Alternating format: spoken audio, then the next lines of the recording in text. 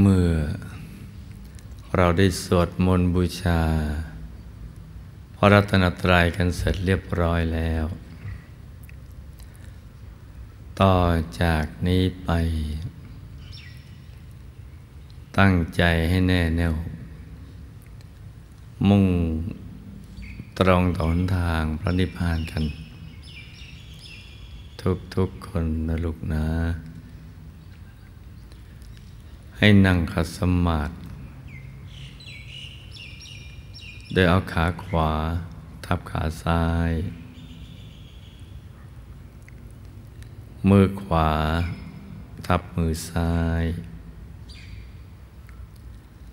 ให้นิ้วชี้ข้างมือข้างขวา จรดนิ้วหัวแม่มือข้างซ้าย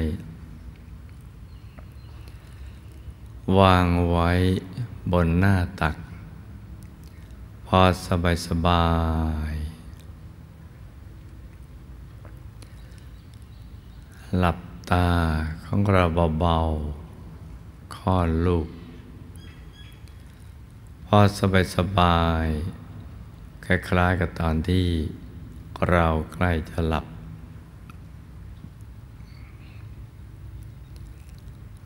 อย่าไปบีบเปลือกตา อย่ากด ลูกในตา แล้วก็ทำใจของเรานะให้เบิกบาน ให้แช่มชื่น ให้สะอาดบริสุทธิ์ผ่องใส ไร้กังวลในทุกสิ่ง ไม่ว่าจะเป็นเรื่องอะไรก็ตาม ให้ปลดให้ปล่อยให้วางทำใจของเรานะให้ว่างว่างว่างเปล่าจากอารมณ์ทั้งหลาย แล้วก็มาสมมุติว่า ภายในร่างกายของเรานั้นนะปราศจากอวัยวะ สมมติว่าไม่มีปอด ตับ ม้าม ไต หัวใจ ใส่ใหญ่ใส่น้อยเป็นต้น ให้เป็นที่โล่งๆว่างๆ เป็นปล่อง เป็นช่อง เป็นโพรง โล่งว่าง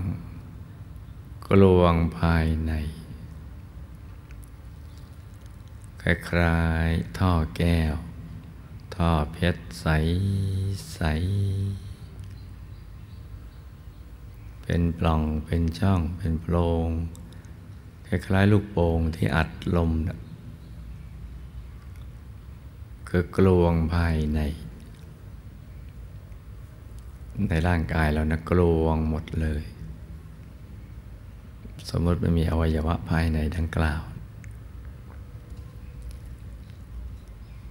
ค ราวนี้เราก็นำใจของเรา ที่คิดแวบไปแวบมาในเรื่องราวอะไรต่าง ๆ เหล่านั้น ไม่หยุดมันนิ่ง อยู่ที่ศูนย์กลางกายฐานที่เจ็ดซึ่งอยู่ในกลางท้องของเรา ในระดับที่เนื้อจากสะดือขึ้นมาสองนิ้วมือ หรือจำง่ายๆ ว่าอยู่ในกลางท้องของเรานะจ๊ะทำความรู้จักเอาไว้ก่อนว่าศูนย์กลางกายฐานที่เจ็ดของเรา อยู่ในกลางท้องที่เหนือจากสะดือขึ้นมาสองนิ้วมือทำความรู้จักเอาไว้ แต่ก็จะถึงกับเป็นเครื่องกังวลเวลาเอาใจของเราเนี่ย มาหยุดมันนิ่งอยู่ที่ตรงนี้นะจะตรงกับศูนย์กลางกายฐานที่จิตเป๊ะเลยไหมเนะี่ย ไม่ต้องกังวลมากขนาดนั้นนะลูกนะ แค่เราทำความรู้จักซะก่อนว่าศูนย์กลางกายฐานที่เจ็ดอยู่ตรงนี้ เราจะเห็นชัดต่อเมื่อใจนะมันหยุดนิ่ง ได้สนิทสมบูรณ์ร้อยเปอร์เซ็นต์แล้ว มันถึงจะเห็นฐานที่เจ็ดชัด แต่ตอนนี้เราต้องทำความรู้จัก แล้วก็ทำความรู้สึก ว่าใจเราอยู่ที่ตรงนี้ ที่จะต้องให้อาใจมาอยู่ที่ตรงนี้เพราะศูนย์กลางกายฐานที่เจ็ด เป็นทางไปสู่อายตนะนิพพาน พระสัมมาสัมพุทธเจ้าและพระอรหันต์ทั้งหลาย ท่านนะมาเริ่มต้นอยู่ที่ตรงนี้ที่ศูนย์กลางกายฐานที่เจ็ดท่านจะเอาใจมาอยู่นิ่ง ๆ ตรงนี้แหละ มื่อใจ มันสงัดจากกามจากอากุศลธรรม ไม่มีความรักไม่มีความชังในสิ่งใด ๆ ใจมันจะนิ่งอยู่ที่ตรงนี้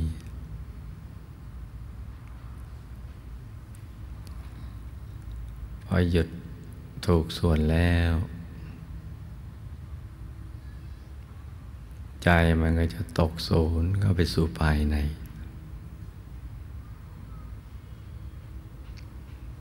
แล้วก็จะมีดวงธรรมนะลอยขึ้นมา มาปรากฏอยู่ที่ฐานที่เจ็ด ในกลางท้องที่เหนือจากสะดือขึ้นมาสองนิ้วมือ มันจะเป็นดวงใส ๆ อย่างเล็กก็ขนาดดวงดาวในอากาศ อย่างกลางก็ขนาดพระจันทร์ในคืนวันเพ็ญ อย่างใหญ่ขนาดพระอาทิตย์ยามเที่ยงวัน หรือยิ่งกว่านั้น ตามกำลังบารมี และบางทีก็เห็นโตตะกฟอง ไข่แดงของไก่ แต่ว่ากลมรอบตัวเหมือนดวงแก้วกายสิทธิ์ มันจะกลม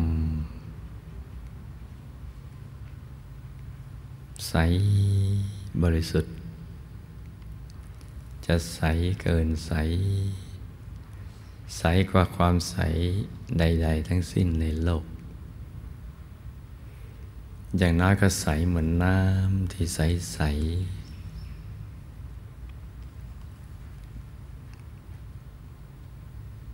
หรือใส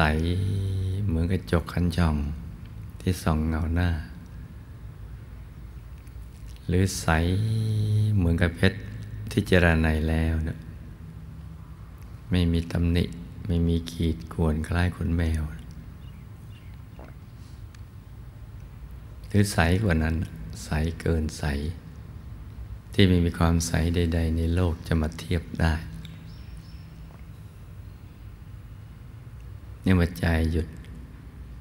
มันจะเกิดอย่างนี้ เพราะฉะนั้นใจหยุดเนี่ยสำคัญทีเดียวแหละต้องหยุดนิ่งตรงนี้ ทำตรงนี้จะเกิดขึ้นที่ฐานที่เจ็ดที่เดียว ที่อื่นไม่ใช่ และทำตรงนี้พระเดชพระคุณหลวงปู่พระมงคลเทพมุนี สดจันทสโรบุคคลพบวิชาธรรมกาย ท่านเรียกว่าดวงธรรมานุปัสสนาสติปัฏฐานหรือดวงปฐมมรรค แปลว่าเบื้องต้น หรือจุดเริ่มต้น ที่จะไปสู่อายตนะนิพพาน ซึ่งเป็นจุดหมายปลายทางของทุกๆชีวิต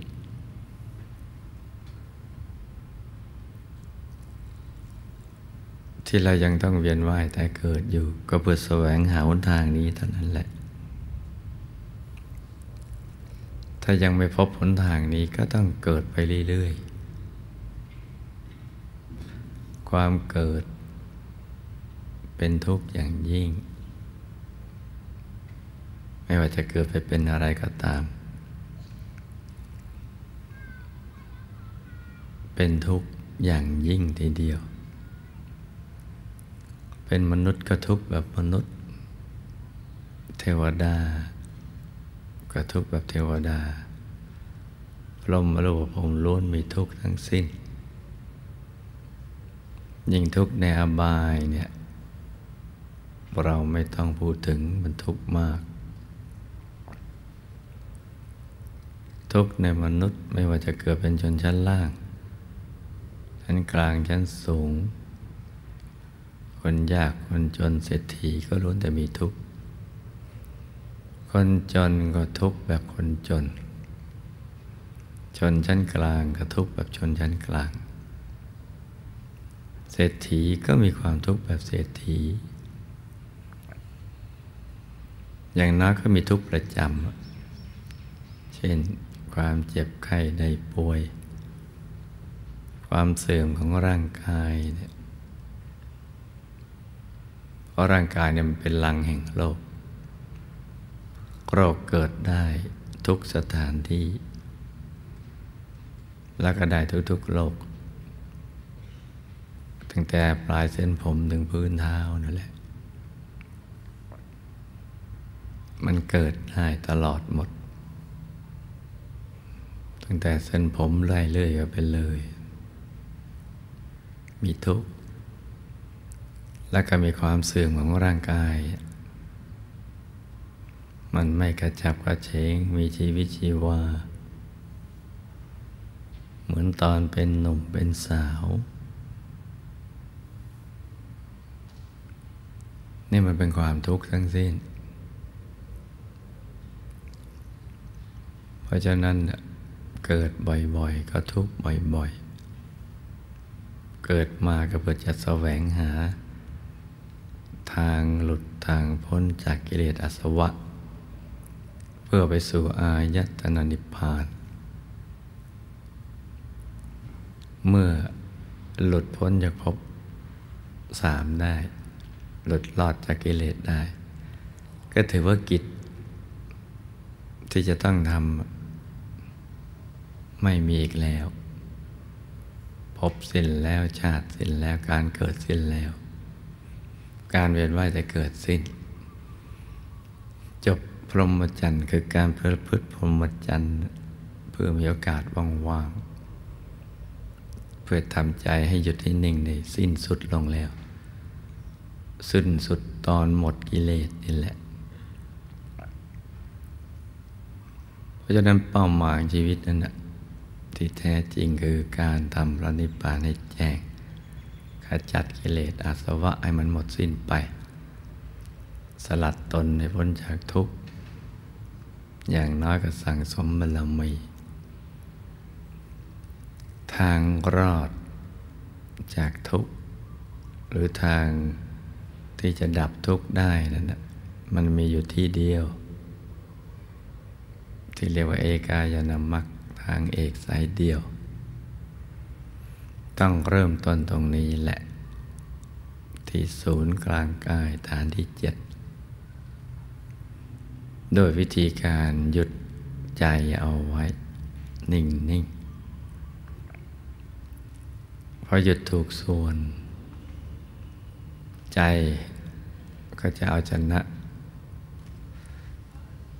ความมืดในใจเครื่องกั้น ใจไม่ให้สว่าง มันหลุดออกไปได้ ความปิติก็เกิด อิ่มอกอิ่มใจวชนะนิวรณ์ได้ กายมันก็สงบ นั่งในนานแค่ไหนก็ได้ ความสุขก็เกิดขึ้น แตกต่างจากสิ่งที่เราเคยเข้าใจว่ามันเป็นความสุข ใจก็เข้าถึงความเป็นหนึ่ง นิ่งแน่นทีเดียว ดวงใสเกิดตอนนี้แหละ แล้วหลังจากนั้นก็ตามเห็นก็ไปเรื่อยๆ ตามดูไป ดูสิ่งที่เกิดขึ้นในกลางกาย ซึ่งตอนนั้น ความรู้สึกที่ร่างกายมันหายไปแล้ว มีดวงใส ๆ ปรากฏ มองเข้าไปในกลางดวง จะเห็นจุดศูนย์กลางของดวงใส ๆ การดูเฉย ๆ ก็คือการวางใจ ให้หยุดให้นิ่งนั่นเอง และเดี๋ยวเราก็จะเห็น กายในกาย เวทนาในเวทนา จิตในจิต ธรรมในธรรม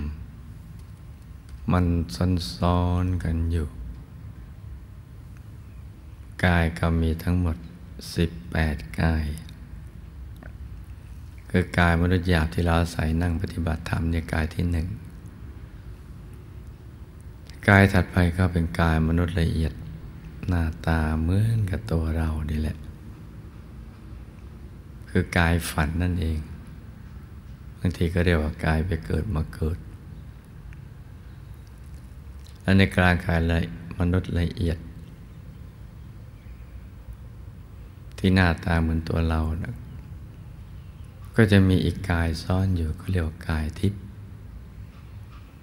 กายทิพย์หยาบ มีลักษณะแตกต่าง จากกายมนุษย์ละเอียด คือมันสวยงามขึ้น ได้สัดส่วนขึ้น มีเครื่องประดับ และในกลางกายทิพย์หยาบ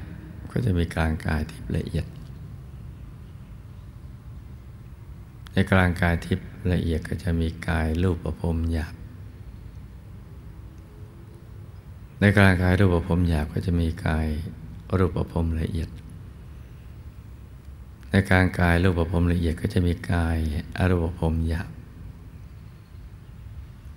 ในกลางกายอรูปภพหยาบก็จะมีกายอรูปภพละเอียด ในกลางกายอรูปภพละเอียดก็จะมีกายธรรมโคตภูหยาบ ในกลางกายธรรมโคตภูหยาบก็จะมีกายธรรมโคตภูละเอียด ในกลางกายธรรมโคตภูละเอียดก็จะมีกายธรรมปโสดาบัญญาบ ในกลางกายธรรมโสดาบัญญาบก็จะมีกายธรรมพระโสดาบันละเอียด ในกลางกายธรรมโสดาบันละเอียด ก็จะมีกายธรรมพระสกิทาคามีหยาบ ในกลางกายธรรมพระสกิทาคามีหยาบก็จะมีกายธรรมพระสกิทาคามีละเอียด ในกลางกายธรรมพระสกิทาคามีละเอียด ก็จะมีกายธรรมพระอนาคามีหยาบ ในกลางกายทำพระอนาคามีหยาบ ก็จะมีกายทำพระอนาคามีละเอียด ในกลางกายทำพระอนาคามีละเอียด ก็จะมีกายทำพระอรหัตหยาบ ในกลางกายทำพระอรหัตหยาบก็จะมีกายทำพระอรหัตละเอียด อย่างนี้เขาเรียกว่าตามเห็นกายในกาย ซึ่งมีทั้งหมด 18 กายดังกล่าว เป็นคู่คู่กันไป คือหยาบกับละเอียด กายยิ่งละเอียดก็ยิ่งโตขึ้น ใหญ่ขึ้น สวยขึ้น บริสุทธิ์ยิ่งขึ้น กิเลสบังคับบัญชาได้น้อยลงไปตามลำดับ กายที่เป็นเป้าหมายคือกายทำอรหัต ละเอียด หรืออรหัตผล หน้าตักยี่สิบวา สูงยี่สิบวา เกตดอกบัวตูม ใสเกินใส งามไม่มีทิฏฐิรับประกอบไปด้วยลักษณะ มหาบุรุษครบถ้วนทุกประการ เป็นกายสุดท้าย เป็นเป้าหมายของชีวิต เป็นการที่หลุดพ้นจากสัพพกิเลสทั้งหลาย อย่างนี้ก็เรียกว่ากายในกายที่ซ่อนกันอยู่ ซึ่งแบ่งเป็นสองภาค คือกายที่ตกอยู่ในไตรลักษณ์กับกายที่พ้นไตรลักษณ์ กายที่ตกอยู่ในไตรลักษณ์คือ มีสภาพไม่เที่ยงเป็นทุกข์ไม่ใช่ตัวตนที่แท้จริง ก็มีตั้งแต่กายมนุษย์ทิพย์ลมอรูปภพทั้งหยาบละเอียดซึ่งอยู่ในภพสามกายที่พ้นภพสามก็ตั้งแต่กายธรรมโกตภูโสดาสกิตาคานาคาอรหัตทั้งหยาบละเอียด เราต้องแบ่งต้องทำความรู้จักเอาไว้ นี่เป็นภาคทฤษฎี กายทำตั้งแต่โคตภูไป เป็นที่พึ่งที่ระลึกที่แท้จริงของเรา ลักษณะเหมือนกันกับกาย กายทำทุกกายทำเหมือนกันหมด กายทำกตปูโซดาพระสกิทาคา พระนาคามี พระอรหัตทั้งหยาบละเอียด จะเหมือนกัน ต่างแต่ขนาดและความบริสุทธิ์ ความใส กายทำโคตปูเล็กไม่มีประมาณ แต่ใหญ่เกือบห้าวาแต่ใครทำปโสดาบันขนาดตักห้าวา สูงห้าวา ใครทำพระสกิทาคามีขนาตักสิบว่าสูงสิบว่าใครทำพระนาคามีขนาตักสิบห้าว่าสูงสิบห้าว่ากายทำพระรหัสกะยี่สิบว่าสูงยี่สิบว่าที่ซ้อนกันได้ กายใหญ่ที่ซ้อนในกายเล็กได้ เพราะละเอียดกว่า บริสุทธิ์กว่า เหมือนเราเอากระจกส่องดูภูเขาภูเขาก็ไปอยู่ในกระจก ซึ่งภูเขาก็ไม่ได้เล็กลง กระจกก็ไม่ได้ใหญ่ขึ้น แต่ไปอยู่ได้เพราะละเอียดกว่า นี่ก็ในทำนองเดียวกัน อย่างนี้ก็เรียกว่าตามเห็นกายในกายกับไป มีกายที่ไหนก็มีเวทนาที่นั่นมีจิตที่นั่นมีธรรมที่นั่น ก็มีเวทนาในเวทนา มีจิตในจิต มีธรรมในธรรม ตามเห็นกันกับไป อย่างนี้ก็เรียกว่าสติปัฏฐานสี่นี่คือภาคทฤษฎี ที่เราจะต้องศึกษาเอาไว้ เพราะว่าเป็นแผนผังของชีวิตที่ติดมากับตัวของเรา จะเห็นได้เมื่อเข้าถึง เข้าถึงเมื่อไหร่ก็จะรู้จัก ที่เรียกว่าเป็นปัจจตังรู้ได้เฉพาะตน เพราะมันทำแทนกันไม่ได้พอเข้าถึงได้เห็นได้ ก็รู้ได้ เฉพาะตัว เฉพาะตนทำแทนกันไม่ได้เรียกว่าปัจจตัง แล้วเป็นสิ่งที่พิสูจน์ได้ เรียกว่าเอหิปัสสิโกประเชิญมาพิสูจน์มาลองพิสูจน์ลองปฏิบัติ ก็จะพบความจริงนั้น และความจริงนี้อยู่ในตัวแผนผังชีวิตนี้จึงเรียกว่าโอปัญญิโกจะไปหาที่อื่น ที่อื่นไม่มี มีอยู่ในตัวของเรา กายยาวาหนาคืบกว้างศอกนี้ถึงเรียกว่าโอปนาอิโก แล้วก็ไม่จำกัดการเวลาไม่พ้นสมัย ไม่ตกยุคไม่ตกเทรนเพราะมันมีอยู่ตลอดเวลา ก็เรียกว่าอากาลิโก เป็นอากาลิโก ไม่จำกัดเวลา ไม่จำกัดยุค ไม่จำกัดสมัย ใจหยุดนิ่งเมื่อไหร่ก็เข้าถึงได้ แล้วก็ถึงในตัวเนี่ยที่เรียกว่าโอปัญญิโกนั่นแหละเราฟังอย่างเดียวนะมันไม่เข้าใจหรอก ถ้าจะให้หายสงสัยก็ต้องเอหิปัสสิโก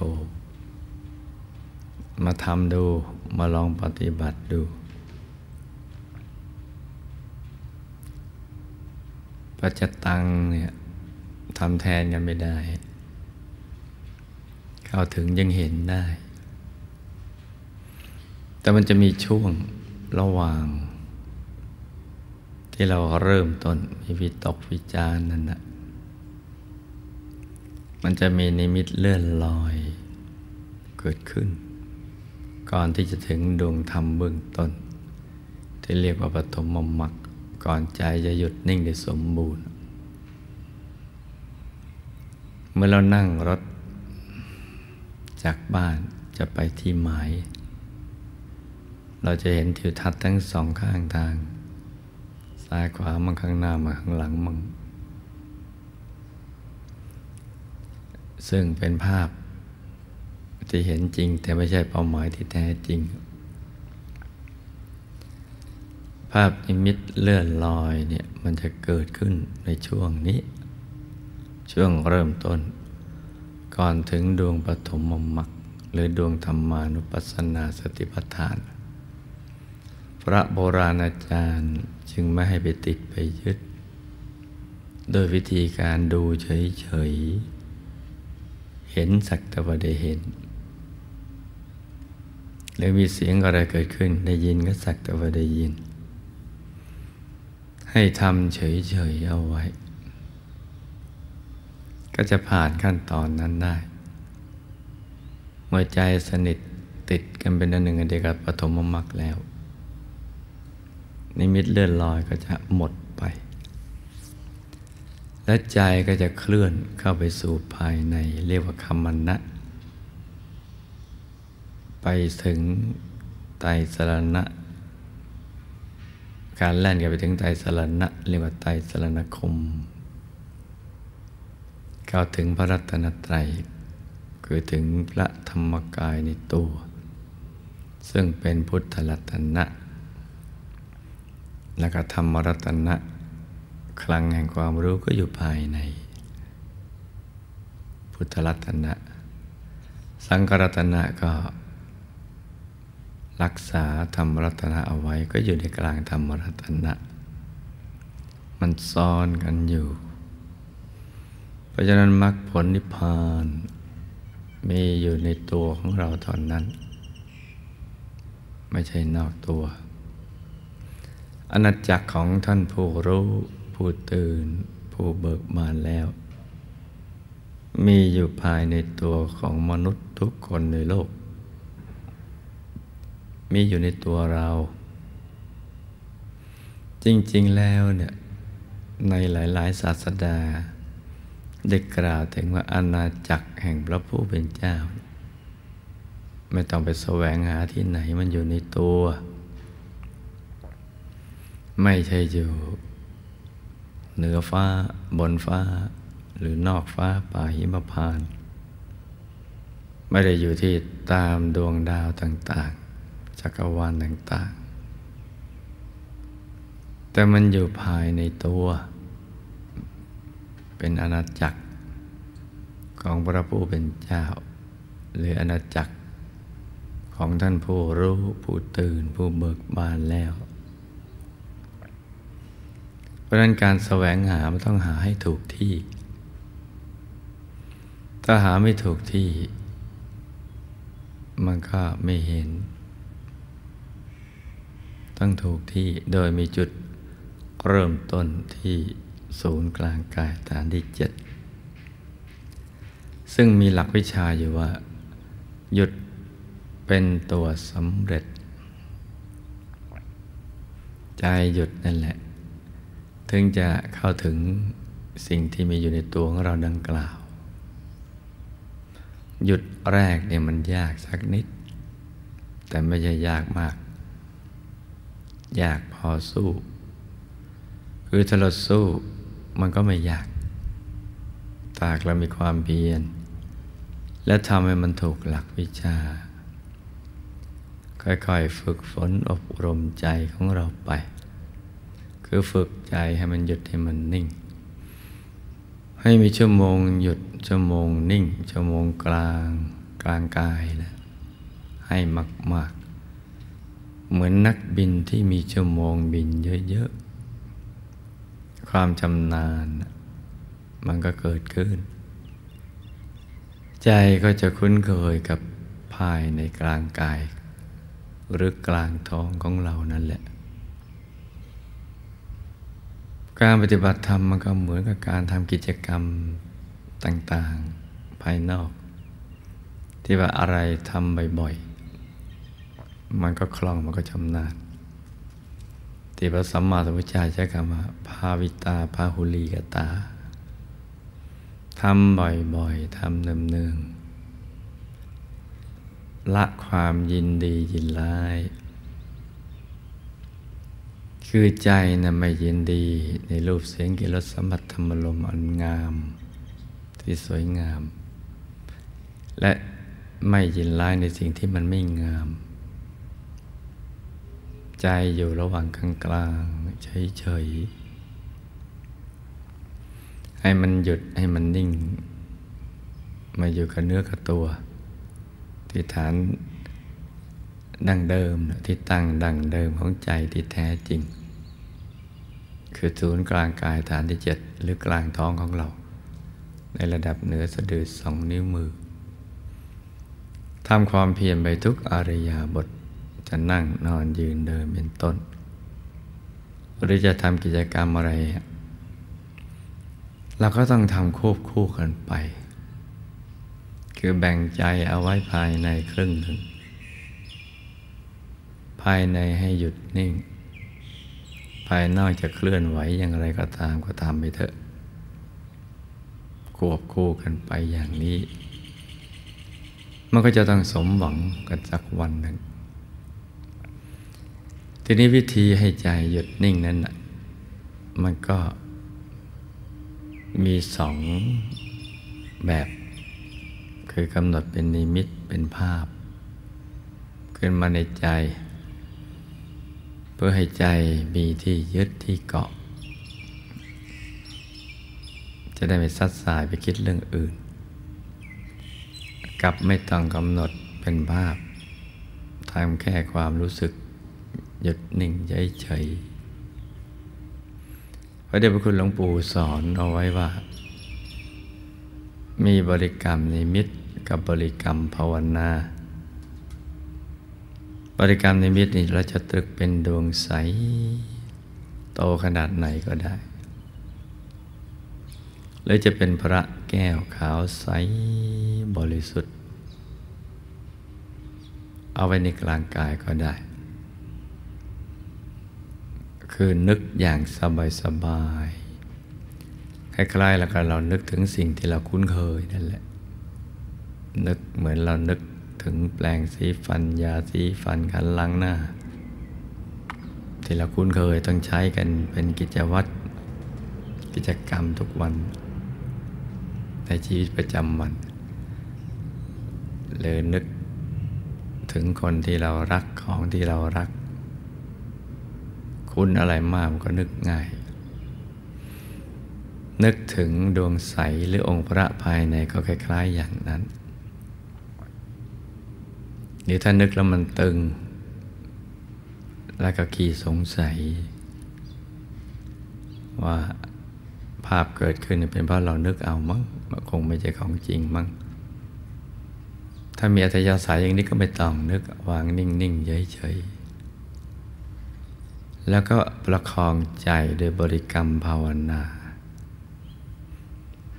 โดยเสียงคำภาวนาดังออกมาจากในกลางท้องของเรา ภาวนาว่า สัมมาอรหัง สัมมาอรหัง สัมมาอรหัง ทุกครั้งที่ภาวนา เราก็อย่าลืมนึกถึงภาพ องค์พระหรือดวงแก้วใส ๆ ไปด้วย ถ้าเราจะนึกเป็นภาพ หรือทุกครั้งที่ภาวนาสัมมาอรหัง เราจะต้องทำความรู้สึกเอาไว้ในกลางท้อง ในกรณีที่เราไม่นึกภาพ ภาวนาอย่างนี้เรื่อยไป โดยไม่ต้องใช้กำลังในการท่อง ให้คล่องใจขึ้นใจเหมือนบทเพลงหรือบทสวดมนต์ที่คล่องปากขึ้นใจนั่นแหละ มันดังออกไปจากในกลางท้อง ไม่ใช่ที่สมองนะจ๊ะ ภาวนาไปจนกว่า ใจเราไม่อยากจะภาวนา จะกี่ครั้งก็ได้ เมื่อใจไม่อยากจะภาวนาเลยลืมภาวนาไป โดยไม่ฟุง้ง ถ้าไม่อยากภาวนาอยากอยู่เฉยๆ เราก็ไม่ต้องย้อนกลับมาภาวนา สัมมาหลังอีก รักษาใจให้มันหยุดให้มันนิ่ง อย่างนี้อย่างเดียว แค่นี้เท่านั้น ใจก็จะค่อยๆละเอียดลงไปเอง จะค่อยๆนิ่งนิ่งนุ่มนุ่มละมุนละไม ใจก็จะขยาย จะมีความรู้สึกโล่งใจ โปร่งใจ สบายใจ แม่ไม่เห็นอะไรก็ตาม แล้วเดี๋ยวมันก็เป็นไปตามขั้นตอน เดี๋ยวความสว่างก็เกิด ทีละน้อยเหมือนฟ้าสางสางกระทั่งสว่างจ้าขึ้นเหมือนอาทิตย์ยามเที่ยงวัน ใจเราก็อยู่กับความสว่างอย่างนั้นเรื่อยไป ถ้านึกเป็นภาพใหม่ ๆ ภาพมันก็ ชัดเจนไม่มากนัก เราก็อย่าไปเค้นภาพ เพื่อให้ภาพมันชัดมันมีให้เราดูแค่ไหนเราก็ดูไปแค่นั้นไปก่อนเหมือนของที่ตั้งไกลๆหรือในที่สลัวสลัวนะเราก็ดูไปเรื่อยๆ อย่างสบายๆ โดยไม่ต้องคิดอะไรทั้งสิ้น เดี๋ยวภาพมันก็จะชัดขึ้นมาเองจนกระทั่งชัดใสแจ่มเหมือนเราลืมตาเห็นวัตถุภายนอก ต่างแต่ว่าเห็นภายใน ทั้งหลับตาแล้วก็ลืมตา เราลืมตามันก็ยังเห็นภายใน หลับตาก็เห็นภายใน ความลับของชีวิตจะถูกเปิดเผย เมื่อใจหยุดนิ่งเฉยที่ศูนย์กลางกายนี่แหละ ทุกคนสามารถทำได้ ยกเว้นคนตายคนบ้าปัญญาอ่อน กับคนที่ไม่ได้ทำเท่านั้นแหละ ถ้าเราได้ทำเราก็ทำได้ ถ้านานๆทำทีหนึ่งก็นานๆดีทีหนึ่ง ถ้าทำทีละนานๆ มันก็ดีไปนานๆ ทุกอย่างมันแล้วแต่เรา โลกแล้วแต่เรา ประสบการณ์ภายในมันก็แล้วแต่เรา